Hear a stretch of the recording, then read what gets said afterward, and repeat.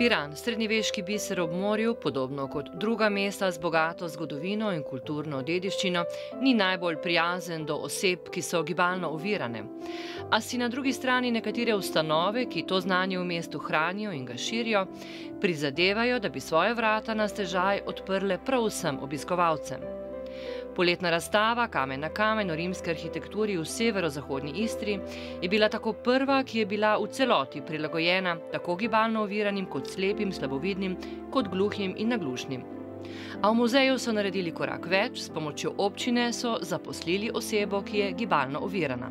Iz tega vidika mislim, da je bila izjemna izkušnja in v okviru tega smo, nam je bila v veliko pomoč prav zaposlitev osebe, ki je gibalno uh, ovirana uh, in ki vendar z svojo voljo, svojo močjo, svojo strastjo in tudi svojo željo, da, da, da, da, da se uči in da prispeva k razvoju muzeja, dela z nami in, in, in nam je bila nekakšna dodana vrednost. In to je seveda uh, Natalija. Zaposlena sem od januarja um, preko javnih del, me financira občina Piran. Prej sodelujem pa že z muzejem od oktobra 2017. Sem bila vključena v usposabljanje preko zaposlitvene rehabilitacije, ki ga financira država, za, pač, da se sploh pojavimo na trgu dela. Um, in to je vodila Šent Prima zavod. Tako se Natalija ob vsakem vremenu in vsak dan sama pripelje z avtom v službo in tudi nas popelje po muzeju skozi zbirke, ki so jih na novo poimenovali. Ob tem pripoveduje svojo zgodbo. Jaz se vidim kot čisto običajno um, dekle žensko, kot pač. Um, ki hodim v službo, se ukvarjam s športom, se rada družim s prijatelji, grem na okrog, potujem. Nič, nič neobičajnega. Natalija zaključuje študij na pedagoški fakulteti, v muzeju pa vodi delavnice in je nepogrešljiva pri razumevanju in oblikovanju iskrenega odnosa do oseb s posebnimi potrebami med zaposlenimi in širše.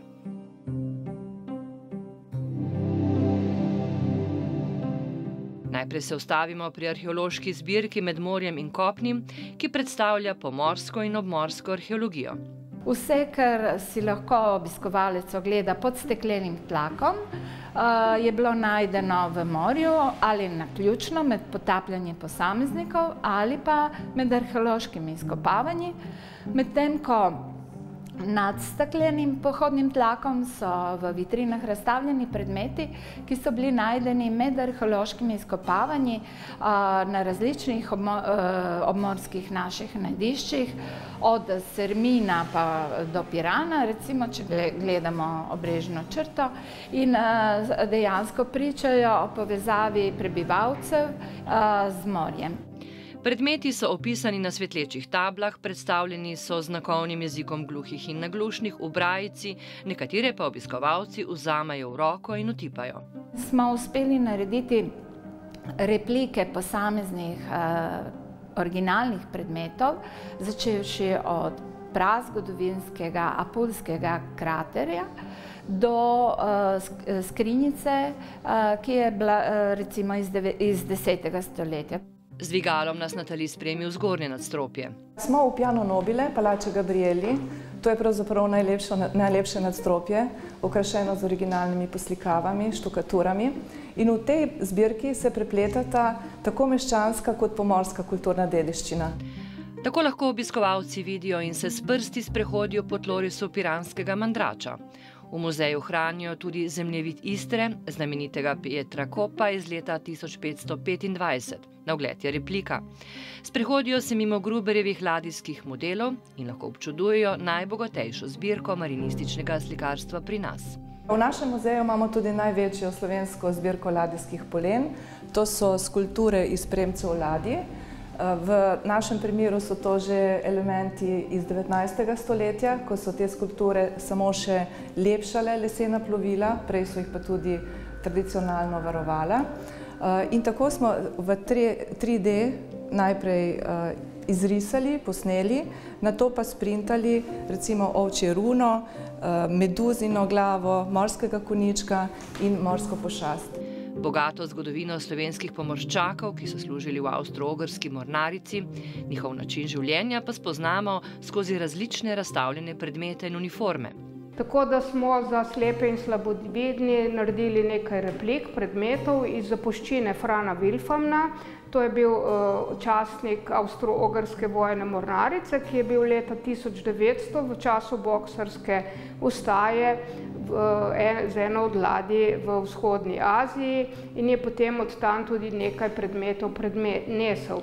Na ogled in otip je na voljo tudi poletna mornariška uniforma navadnega mornarja. Narejena je iz originalnih materijalov oziroma iz platna, bombažne tkanine, tako da dejansko tudi sam eh, teksturo eh, same uniforme lahko otipajo obiskovalci. Od oseb s posebnimi potrebami se učimo potrpežljivosti, ustrajnosti, strpnosti, ki so tudi nepogrešljive lastnosti športnika.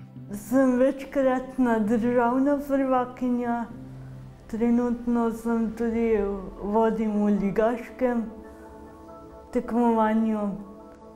Sem pa tudi že dolgoletna članica reprezentance slovenske. Bomo skušali tudi e, lokalne e, oblasti in državo prepričati o tem, da je treba več vlagati ne samo v dostopnost, ma tudi v vključevanje e, vseh oseb, ki lahko nekaj prispevajo v, v, v tej smeri. Ob njihovem vključevanju se učimo in rastemo vsi. Od tega imajo veliko sami, še več pa družba, ki jim omogoči samostojno življenje. Kaj ti je veliko ranljivih eh, skupin, jaz bi rad povdaril, da poleg eh, tistih, ki jih večkrat imenujemo poenostavljeno, ljudi z invalidnostjo, ne, obstajajo druge ranljive skupine, do katerih mora biti uh, taka ustanova kot je muzej odprta in dostopna.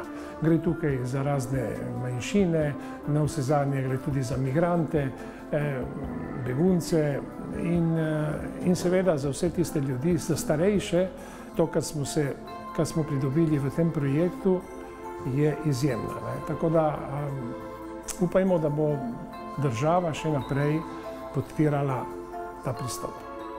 Gre za veliko več kot odpiranje lokalnih muzejev in njihove dostopnosti, gre za ustvarjanje odprte družbe, kjer bo mesto za vsakogar.